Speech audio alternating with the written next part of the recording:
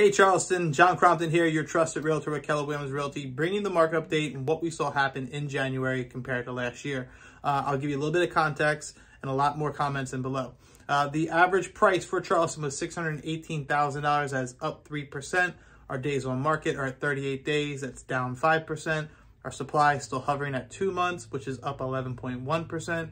Our new listings, we saw 1,822 homes go live, that is up 22.4%. Contracts written were 1,570 in January. That is up 14.4%. Our closed homes were at 989 closings in January. That is up 3.9%. What does all this mean? Well, means things are on the up and up. The price is up. The listings are starting to come on again.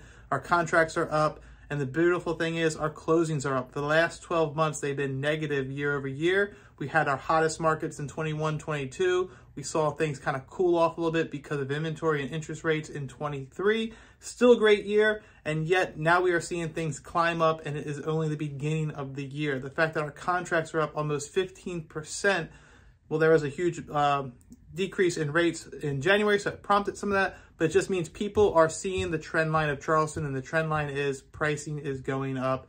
We have not seen a decrease in price. Now, if you're thinking about selling your home, give me a call. If you're thinking about buying a home, give me a call. I want to walk you through this. Take care.